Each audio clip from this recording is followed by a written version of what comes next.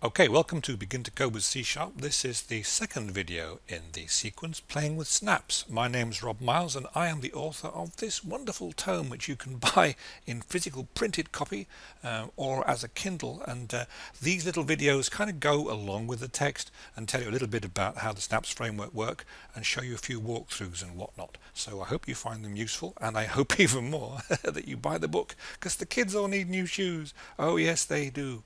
We're going to go through how a Snaps program runs, um, playing with the Snap start, Snaps starter program that gets things going, removing the menu display, and then some fun snaps. By the end of this, you'll be able to write some really silly and probably quite annoying programs. So it's worth sticking around for five or ten minutes just to find that out. Okay, now we've shown you this before. If you've not watched the first video, you really should. The special effects are awesome and some of the acting, well, it took my breath away anyway. yeah, you should watch that because it explains how the Snaps programs actually get going. So go back to YouTube, pull that out and watch it if you haven't. If you have, this should make perfect sense to you. What we have here is a starter program that comes with Snaps that displays a couple of things on the screen. The first thing it does is set the title of the uh, display. Uh, and as it says on the comment buy the book. Uh, you can find the purpose of other program statements by reading the book. It's all in there trust me. Um, this is the first statement of the program. Basically what happens is that inside this little piece here lines 7 and 8 on the screen we actually have the two statements that make the program work. This is statement number one and it sets the title to begin to code with C sharp. And the second statement sets the display area of that screen to contain the string. Welcome to the world of snaps. Doesn't say it like that just says it in text but that's basically what happens. And then when your program finishes snaps framework says okay I'll give this guy a bunch of other programs he can pick from. Uh, and so what happens when you run the program is you will see um, this bit is a display you will see on the screen. The top part is the bit that our program statements have made and the bottom part is a menu that lets you pick all the examples from the text. So you can go to chapter 3 and run the chapter 3 welcome program uh, or more statements or speaking or double output. If you look in the book, in the book there are lots of examples. Each of those equates to one of these programs. You can find it, run it, view it, do all that kind of good stuff. And this is kind of how it works. When you want to figure out where the program lives, they're held inside a Visual Studio Solution which is basically a container for programs that you build on the computer. Um, and that container contains a bunch of stuff including folders that contain the example chapters there they are uh, the images that the programs use and this file here which is very very important because that contains the actual program file we've just seen. Um, and so this is how it all kind of fits together. Now this isn't something to worry about it's something to get your head round really. Um, it's just how these things work. If I was writing a huge book I would do it as a series of different chapters. In fact, I did this only last year and each one of them was a separate document and I had them all arranged and passed them about for editing and all kinds of good stuff. If you're writing a program, similar kind of thing. You'll break it into chunks and each chunk will do one part of the entire solution. So what I'll do now is I'll show you how this works. I'll drop out of my presentation just for a second. I'll drop down to Visual Studio. Now what you should have when you did the video thing last time should have a folder somewhere called begin to code with C sharp and inside there should be a Visual Studio solution which if I double click on it the computer will open and make available for me to use. It's loading it in now and preparing it and when we open it you should see something which is becoming somewhat familiar. This is the start program. These are the two statements that run and you can see it's actually inside the My Snaps apps folder here. So if I hit the button to run it, which is this button here, the local machine button, run it on my machine please, then the system will build that. There'll be a certain amount of hard drive rattling and all kinds of things happening. And then up comes the program. That's the heading that we saw. And that's the text. And this is the menu. Uh, if you want me to prove that this is the case, and, and why not, I go into here, I change this string to for the snaps which is one wonderful that and I run the program again but then what happens now is the string you will see on the screen will now have which is wonderful on the end. So whatever I put in here changes the way the program behaves. This is how we are going to write all the programs that we will be creating with Snaps.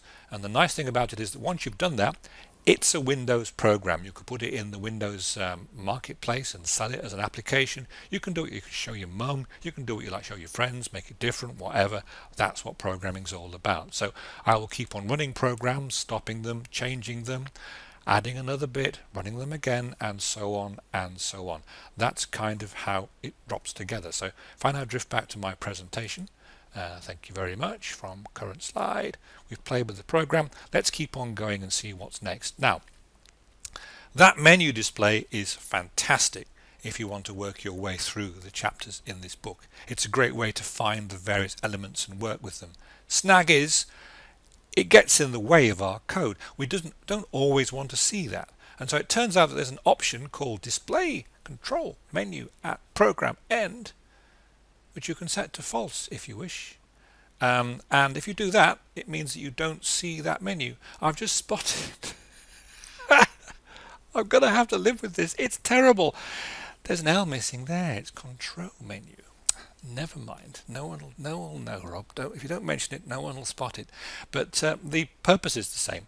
Um, effectively, if you set this to false, it means don't display that menu and I can show you this. In fact, I think we even have a slide to say, let's do a walkthrough and do that now. Now, the idea of these videos is that you have the video open in one window on your desktop and a copy of Visual Studio in the other window, and then you can kind of play along with me.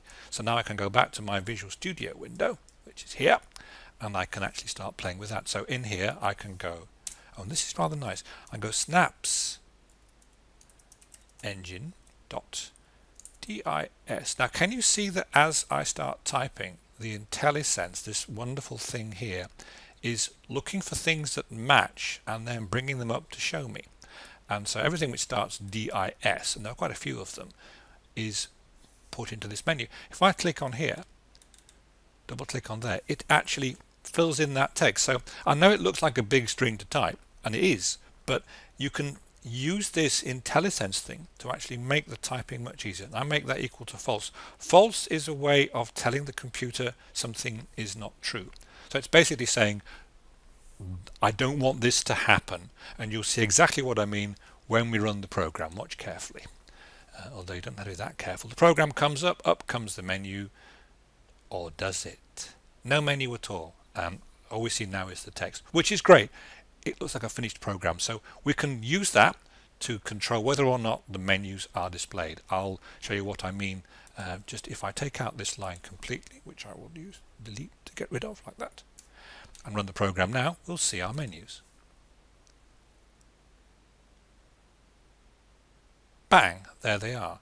If I include this line, and I can use this undo thing here, which is very powerful. You watch this. If I hit undo, the thing I just did is undone which puts my text back, run the program again, and hey, wow, diddy diddy, uh, no menus for us. Fantastic. So that's a way in which you can make programs that look like proper programs and don't have the menu appearing at the end, which is kind of useful. We'll leave that there and we'll go back to the slides. So we've got rid of the menu and all is well. So how do we do other things? Well, it turns out to be quite easy. Um, each snap is actually a piece of C-sharp program that we can use. And the technical term for this is a method. And you can read all about methods in the book. One more not so subtle plug. Each method has a name. Some of the methods are given things to work on. Some just do things. And we can use methods to make our programs a bit more interesting. Here's a snaps method called set background color and you give it a color and it sets the background to that color. So snaps color red is as you would expect red.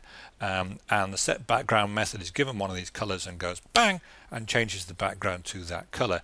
If I want to I can actually put in the individual red blue and green components. Uh, in the range 0 to 255 there's a fairly complex, not complex, there's a technical reason why it's 255 and not a different number, which I haven't really got time to go into now. It is in the book. Everything's in the book. Uh, next week's lottery numbers, the whole lot. It's all in there, trust me. Uh, but uh, as far as we're concerned, just keep them in that range. It'll be fine. So red 100, blue 200, green 50. I have no idea what that color looks like. Perhaps we could write a program and find out. Let's do that. So remember that red 100, blue 200, green and 50. So if I go back into here and I go, uh, we go snaps dot set snaps engine dot set background color and then I go red. Um, I have to go back. Red 100 blue 200 green 50 red 100 blue. And that, notice again IntelliSense is, is helping me here. Blue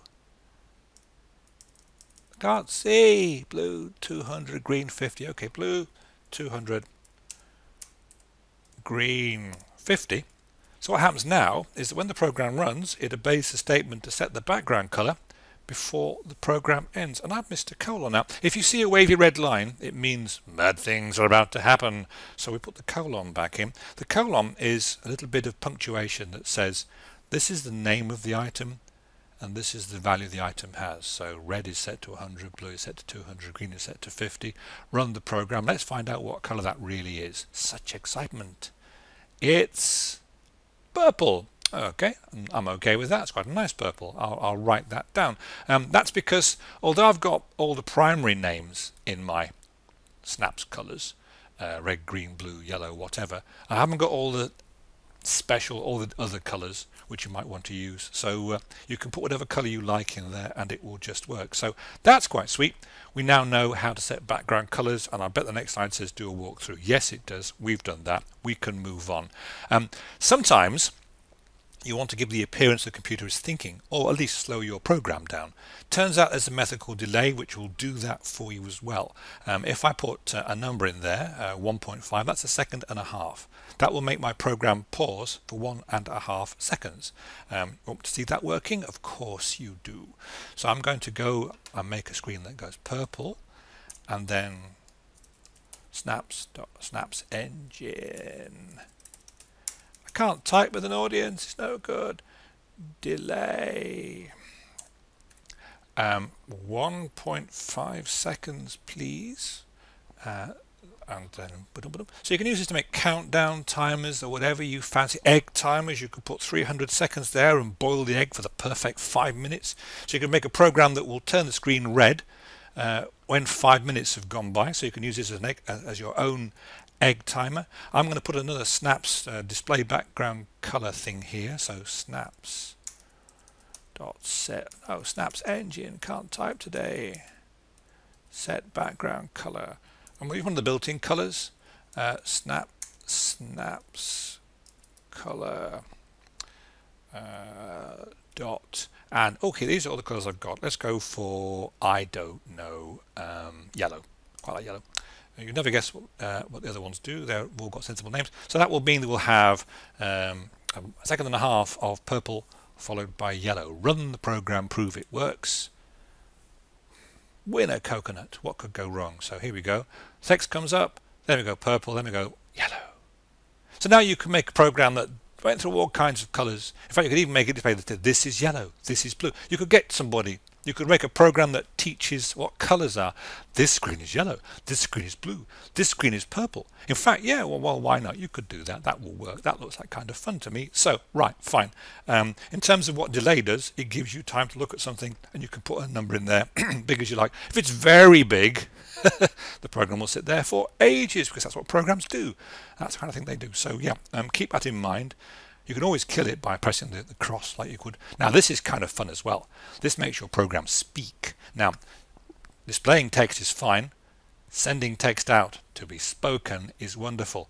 Um, and so what we'll do now is we'll just um, have a little look at this. Uh, so same kind of thing. You've displayed text. We've made text titles. We've set background colors.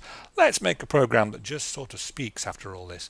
Um, snaps engine SPEA speak string there you go and we'll say uh, this is a yellow screen if you spell it wrong of course um, the speech you get will be interesting Um, but I'm just hoping that this actually works in a way that we can hear from the computer. We shall see.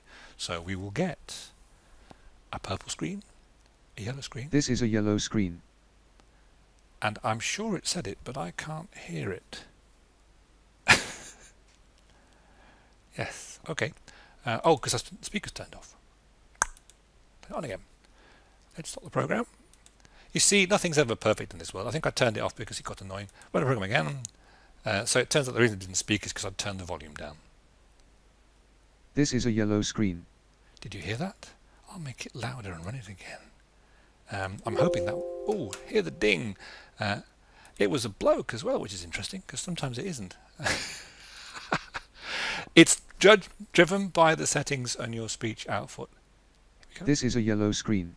Hello. See, so it does work. It, it'll speak for you, and you can give it text, and it will say that. And there are properties you can set um, on the system in terms of what voice you're going to use, which will affect how that sounds as well. So back to the plot. Click, click. Um, we made it speak, which is cool. So you can make the screen color change. You could time an egg with it, make an egg timing program now. You can make a program that sits in the corner and does nothing for an hour and suddenly goes, I'm watching you. Um, you can do all kinds of fun things. You can make messages that appear over time, strange, ghostly utterings that appear um, with intervals. Um, and there are other snaps you might want to find and have a play with too. Um, I hope you find that interesting and maybe even useful. And thank you so much for watching. There will be other videos. Other videos are coming.